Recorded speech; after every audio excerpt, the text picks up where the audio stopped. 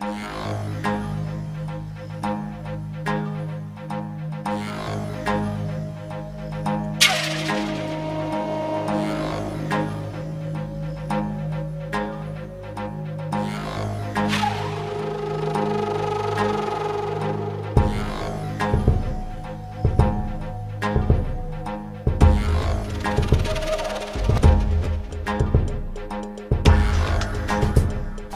Welcome again to this incredible community of leaders from around the world. And today I am so pleased to introduce you to Srilatha Batliwala, who's going to take us into a deep dive on one of my favorite topics of all time, and that is the question of power. And today we're going to be talking about the power within our organizations. Um, an issue that has always had great importance and resonance. And right now, as the world reels from the pandemic, as well as social movements that are really questioning and challenging deep, deep, deep hierarchical structures, this conversation in terms of how we really engage with power within our own organizations has never been more relevant and more important. And Srilatha is somebody who is a master at taking us through this conversation. I've known Sri for decades, I think almost 35 years now, Sri. I'm not sure how long it's been. And Srilatha has been a grassroots advocate, worked at very local, rural, urban, poor community levels in India, as well as at the level of global public policy she has worked in grassroots organizations in India at the Ford Foundation, been at the Harvard Hauser Institute, and is now a part of CREA, Creating Resources for Empowerment and Action, a global organization that is based in India that works at the intersection of sexuality and rights, and also affiliated with Gender at Work. So without further ado, I am going to move over to Srilatha and um, invite her to begin her presentation. Thank you so much, Mallika. Uh, greetings and namaste and salam alaikum and good morning, good afternoon, good evening to all of you. What I'm going to do today is uh, basically walk us through uh, a very brief sort of recap of how do we understand power itself. The theme of the discussion today is, of course, understanding power uh, in organizations and how do we change the way power operates in our organizations. So we need to first start with understanding uh, and taking a quick relook at power itself. Uh, and the specific questions I'm going to run through are, you know, what is power? How do you define it? Where is it? What forms does it take or what does it look like? And finally, how do power structures arise and how they are sustained? And once we do this recap, then we will look at all of this in the context of organizations. So, in terms of defining power, the definition I like best because it's simplest and clearest is that power is the capacity of different individuals or social groups to decide who gets what. So, that's the distribution of resources, access, and control over resources. Who does what? So, of course, the division of labor. Who decides what? So, this is the power of decision making. And perhaps most important of all in today's context is who is framing the agenda? Who is deciding and telling us what is important and what is not? There's a huge amount of power embedded there. So, with this definition, Let's look at the three key spaces in which power operates. Public spaces, of course, visible, public institutions like the government, uh, law enforcement, military, courts, etc. But it operates, as every feminist has been saying for centuries, in private spaces as well, within traditional structures like clans and castes, but also in the household, in the family, in intimate relationships of various kinds. And finally, power operates within ourselves. So, power is not just something that comes from outside and acts on us, it is acting within us, it is there within us. And that's what is sometimes called in the sort of mainstream development uh, discourse, self esteem, or agency, confidence, etc. Power also has three faces or three manifestations. And this is very important uh, for those of us who are looking at power inside organizations. The first face of power is the visible face. Some people, some theorists call this direct power. Okay. And that means, of course, the power to control other people's choices and their actions. So think of an example. In other words, this is where you have direct orders. You can't go there, you can't wear this, or you can't do that. Hidden power is another phase, which is, and some people call this indirect power. It is the power to control or influence other people's choices and actions without giving any direct orders. It's a kind of behind the scenes power. And third, very potent and very important is invisible power, which is the power to frame the agenda or shape the way people think or feel or what they believe without their even knowing you're doing it. So let's quickly take a look at some examples of each of these faces. Obviously, one face of visible power, political leaders. Violence is another face or another aspect of visible power. Hidden power, that is the capacity to influence people's choices, actions, behavior without direct orders. The best example is social norms, including norms around the division of labor, around masculinity, around good woman and bad woman, etc. Social media, as we all understand today, is a huge source of hidden power because it is shaping the way people think and what they believe, etc. And we all know about the power, for instance, of fake news and uh, uh, hate speech on uh, platforms like Facebook. Let's now come to invisible power.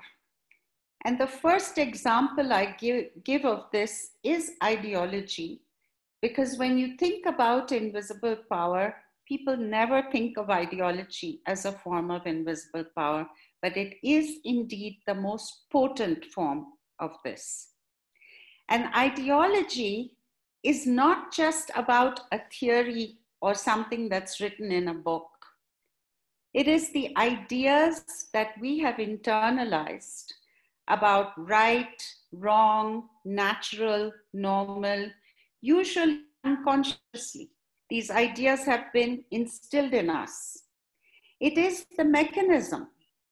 Ideology is the mechanism through which we consent to our own oppression or participate in the oppression of others or justify the oppression of others is the power of ideology.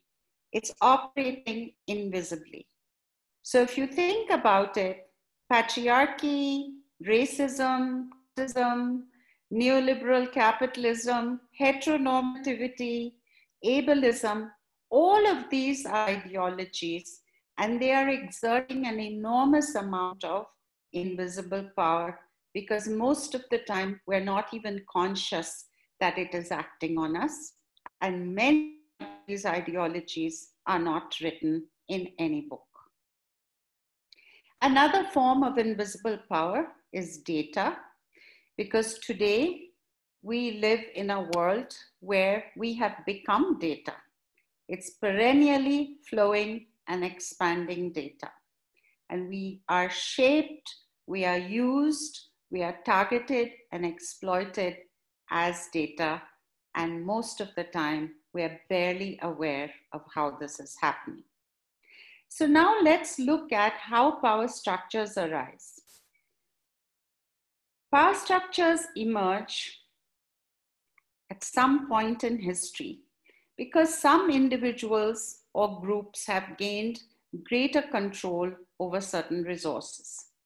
Material resources, land, uh, capital, human resources, our bodies, our labor, our reproductive power, our sexuality, knowledge resources, education, information, ideas, and then the intangible resources, those very hard to pin down resources like our contacts, who we know, our social support systems, where we have influence, where we have voice, etc. And so a social power structure and agenda power structure gets constructed. But as soon as this power structure gets constructed, it has a challenge because it's unequal. A few people have the greatest power, and the vast majority have less and less. So, how is this power structure going to sustain itself? So, it constructs certain pillars to sustain it. And the first pillar is an ideology to justify that power structure to say this is the way it is because God has made it this way, nature has made it this way. Some people are more intelligent, some people are higher caste, some people are white skinned and so they have superior brains, whatever. There's an ideology that's constructed to justify the power structure. But that ideology now has to be transmitted and taught and maintained. So, a whole set, it has to be translated into everyday practice, the ideology. And that is social norms and beliefs and practices that we carry out on a day to day basis, where we are practicing the ideology through the norms. And then we have social institutions whose task is to teach those norms and take forward those ideological beliefs.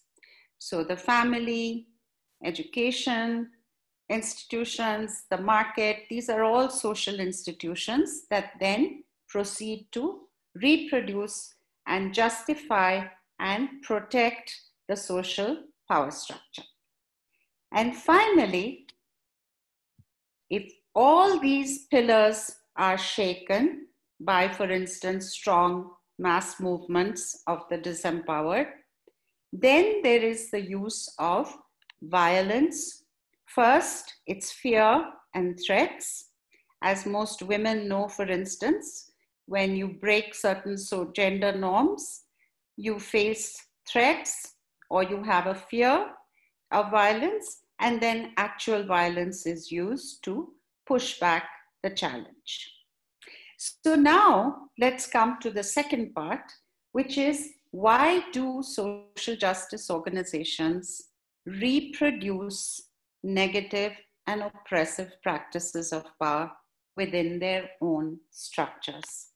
Especially because they say that their mission is to dismantle these oppressive power structures in the world beyond their uh, uh, organizational boundaries.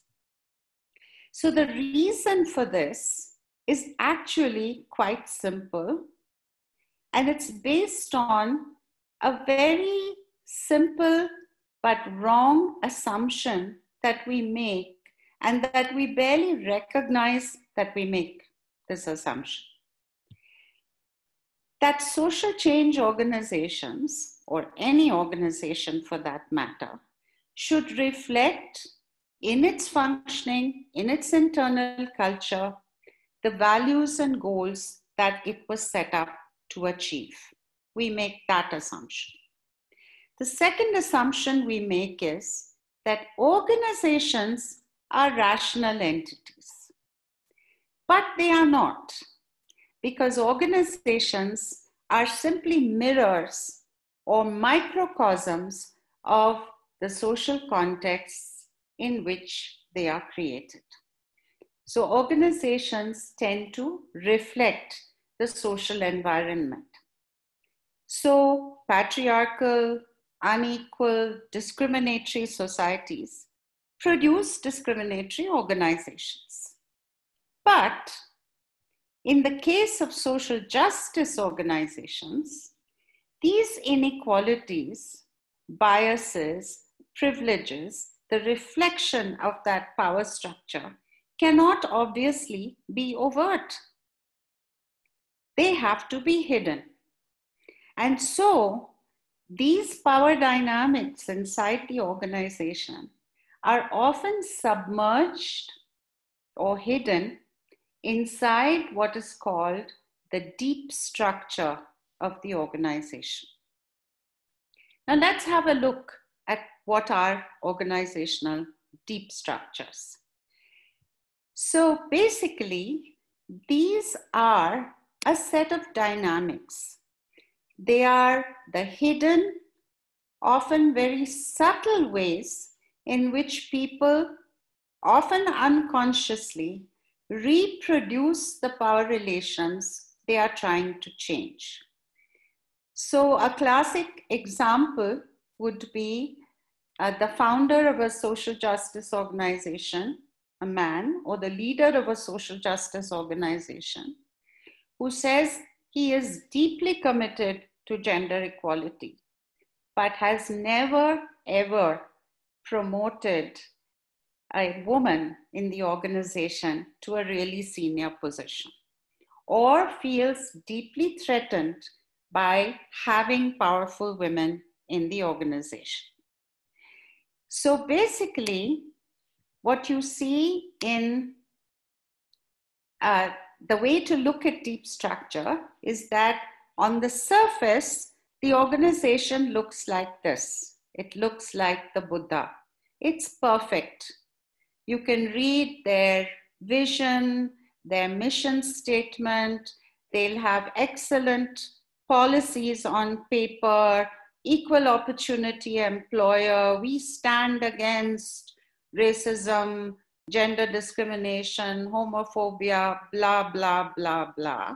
That's the Buddha. That's the surface of the organization.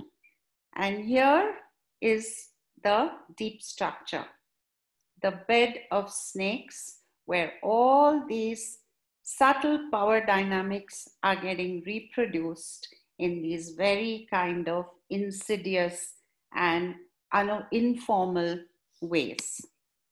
Here are some examples of deep structure dynamics in organizations. Informal norms that are very different from the formal rules.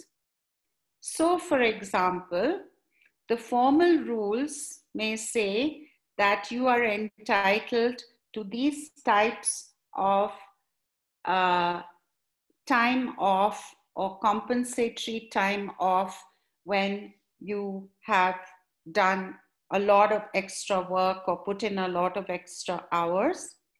But in fact, people who then use those policies are considered less committed.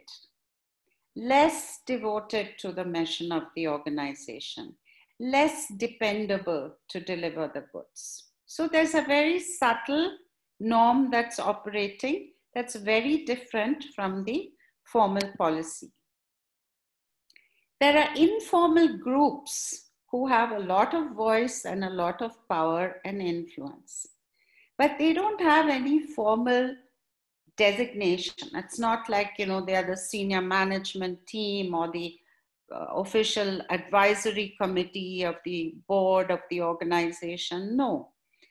These are informal groups which are often based on how long they've been in the organization, uh, who they have access to inside the organization, who is closest to the people in top leadership positions, who's been around the longest, who uh, is the, let's say, nephew or niece of some very influential political person in the country or in the state or in the city, these kinds of uh, hidden powers.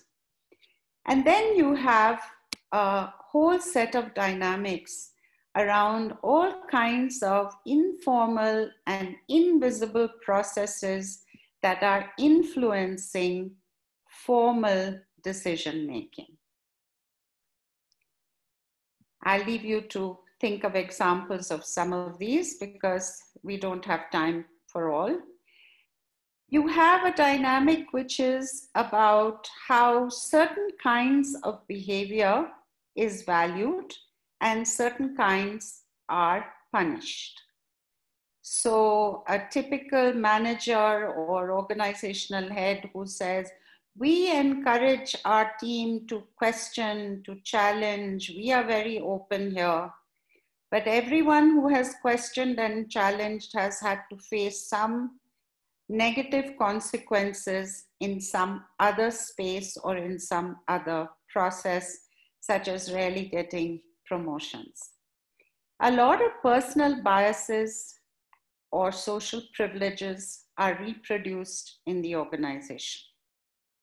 Uh, some of these can relate to gender biases, they can relate to biases around people's uh, uh, sexual expression, their gender identity, their caste, their race. We've seen a whole lot of examples recently of that. And finally, a, a very important deep structure dynamic is power under practices. Now, this is a fascinating concept. Uh, very few people have been uh, exposed to this idea, but it's a really, really important idea. Power under is the reason why people who have suffered oppression,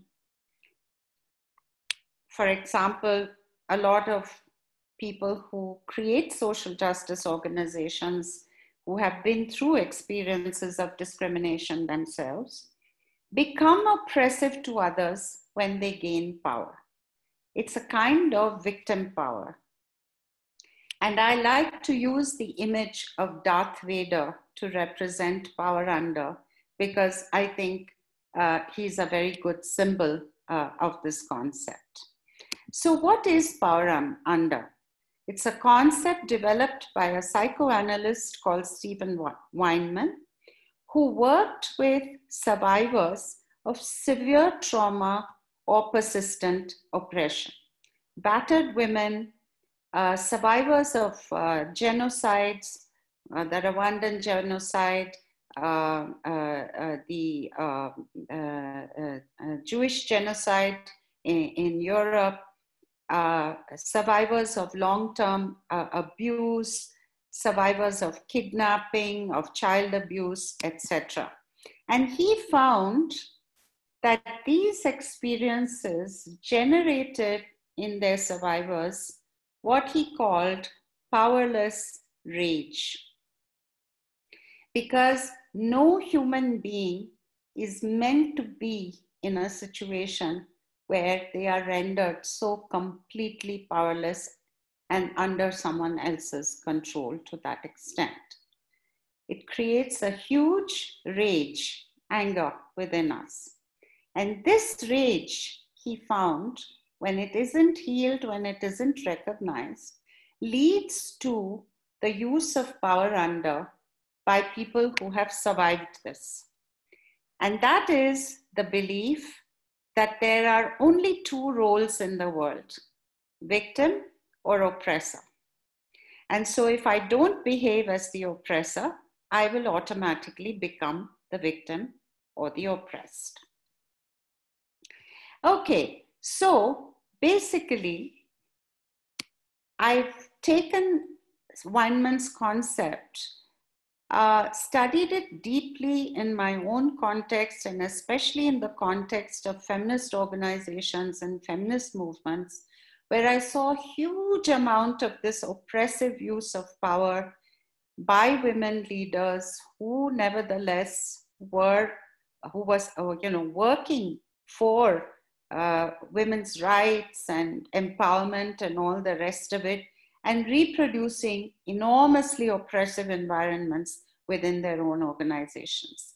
And i realized that it is not only severe trauma and abuse that produces powerless rage but any kind of long term systemic discrimination that you experience, which is what it is to be a, a, a woman in many societies. There, there is this internalized sense of powerless rage, and so there is a tendency to practice power under quite unconsciously when you gain access to power. And what I saw was that in organizations, power under can manifest in several forms gossip, character assassination, sycophancy, flattery, doing personal favors for the boss. Because remember, power under is being practiced not only by those in leadership, but those at various levels of the organization, trying to ensure that they are not in the location of being oppressed. Okay? So they are leveraging from their location this powerless rage in these forms. Overt obedience, yes, sir, excellent idea. Yes, we'll definitely take forward this new strategic plan. Sabotage from the back. Very, very common occurrence in our uh, sector. And finally, for people in leadership who have this internalized victim syndrome, when they gain leadership roles and they become very oppressive in the way they practice leadership, because internally they are afraid they will be seen as too small for that role. Internally, they feel victims. So the reality is that organizations are also sites of these three faces of power, these three forms of power. So you have the visible power, which is the formal leadership and formal decision making systems, structures, policies, and rules. Then you have this whole site of hidden power, the deep structure dynamics that are going on. And finally, you have this invisible power, which is the power under practices, which are used to sabotage or control or leverage or influence, etc. So if we tie this all together using our previous power diagram and look at how do power structures arise and operate in organizations, this is what it sort of looks like. So you have the resources, financial resources, human resources, information resources, intangible resources, like how, what kind of connection and influence you have with donors, for example. And that creates a kind of formal organizational power structure. So this is the formal power structure. Now, I've, yes, I've used here a classic triangle. Maybe it's, it's more square or a hexagon or I don't know what but there is a formal power structure in the organization. And then you have that structure uh, supported by the pillars of, you know, this is our stated mission, this is our vision, here are our formal rules and policies, and here's our formal decision making. But behind all this and surrounding all this and mediating all this is the deep structure and the power under practices that are going on and that are often, in fact, vitiating the formal mission and even the formal rules and policies. So, to transform organizational cultures, to dismantle these kind of hidden power structures in our organizations and the oppressive leadership practices, it requires recognizing and addressing all the forms of power that are operating within our organizations, not just the ones on the surface. And it involves recognizing and addressing the forms of power that are operating within us, including internalized privilege of uh, whatever race, class, caste, gender, etc., and also internalized power under practices and uh, uh, beliefs. And we can't do this once and say, okay, we fixed that. We have to do it as an ongoing internal process. It's kind of like a detoxing or a cleansing that you have to do on an ongoing basis. So, there are five essential strategies I would suggest, and then I'll stop. Uh, that is to analyze and revise where necessary the policy and decision making framework and organizational hierarchy. So, this is the formal stuff that you have to do. And interestingly, even here, there is tremendous scope for change because most of our organizations haven't even developed solid, visible, strong mechanisms for including our constituencies in our decision making and our strategic priorities. And I've seen a few examples recently of organizations trying to do that, such as the Global Fund for Women has set up what they call their Adolescent Girls Advisory Committee. So they're actually inviting adolescent girls from around the world to help shape their programming and their priorities on supporting adolescent girls. You need to map and analyze the deep structure dynamics in your organization and do it periodically.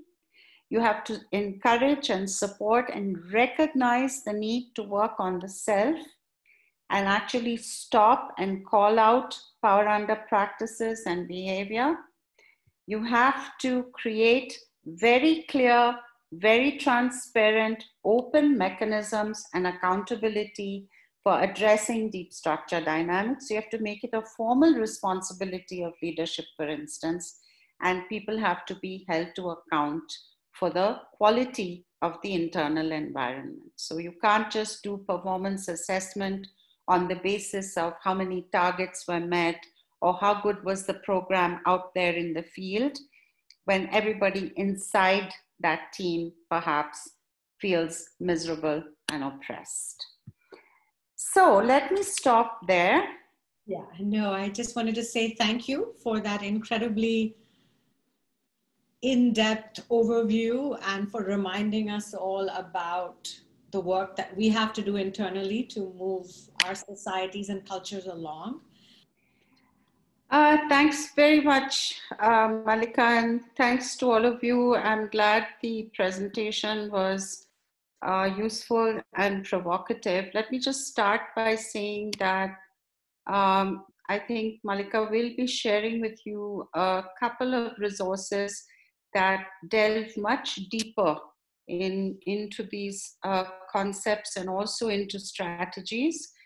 Um, I just had three thoughts to share, provoked largely by some of what uh, you have shared in terms of insights from your own discussions.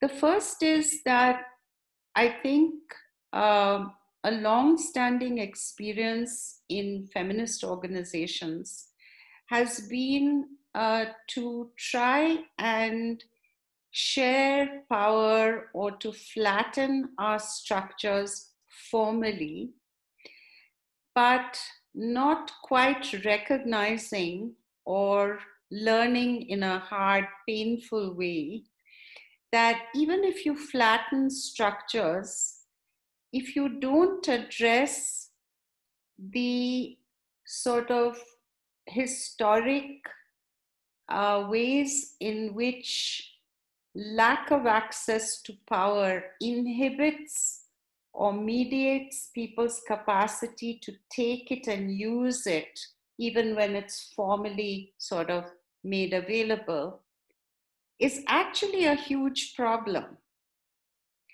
So if you suddenly, you know, open up decision making power uh, to people who have not historically had access to that kind of thing, sometimes it takes some work to overcome the inhibitions, the fears of consequences uh, in order to actually be able to take it and use it effectively. So we have to really look beyond the formal sharing of power and the, you know, formal reshaping of our structures. That's just the first step, but there's so much more that has to be done.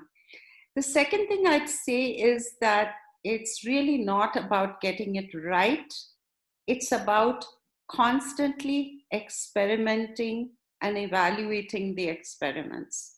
A lot of the times, you're not going to get it right, and it doesn't matter because I think it's the intentionality, it's the honesty, and the transparency with which uh, we demonstrate a willingness to recognize and deal with these hidden power dynamics, even if those uh, mechanisms are imperfect. That itself, I think, transforms the organizational culture in a very deep and radical way. Just the intentionality and the willingness to experiment.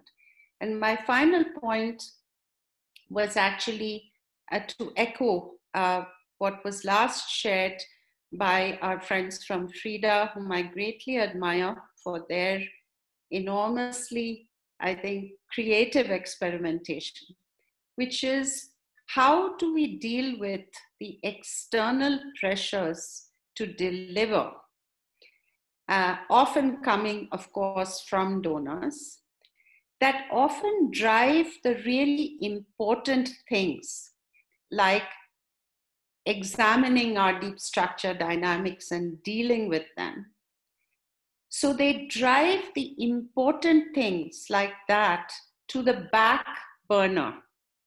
They push it to the back because we are kind of being driven to respond the urgent, to make sure that we are you know, delivering on whatever the project proposal said we were going to do.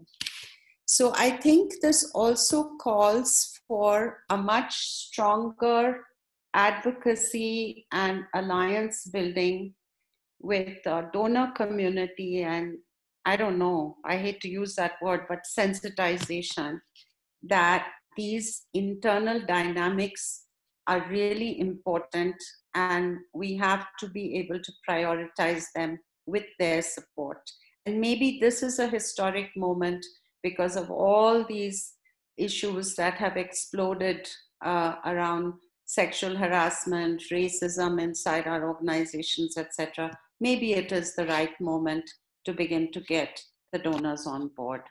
So let me stop there and thank you all very, very much for your uh, participation today and for giving me an opportunity to be part of this process. Thank you so much, Srilatha. A really rich and deep conversation. And a huge thank you to each and every one of you. What an incredibly tumultuous and exciting time for all of us to be in leadership, for all of you to be on the front lines of change wherever you are around the world. Uh, what courage it takes for us to be in these places right now and to be having these conversations with integrity, honesty, vulnerability as the winds of change rage in so many different ways. So, a huge thank you to all of you. I hope you can feel the siblinghood, the connections amongst all of us as we learn and share and grow together. So, one more last huge thank you to Srilatha. I think that is one of the calmest, most detailed, most easy to follow unpacking of power. I myself have used your material, Srilatha, for years in the leadership sessions that I have been teaching at Omega and other places, and the work that I do around power, privilege, and intersectionality. And I am so grateful for your brilliant mind and your enormous heart and your deep, deep sisterhood uh, for all of these decades.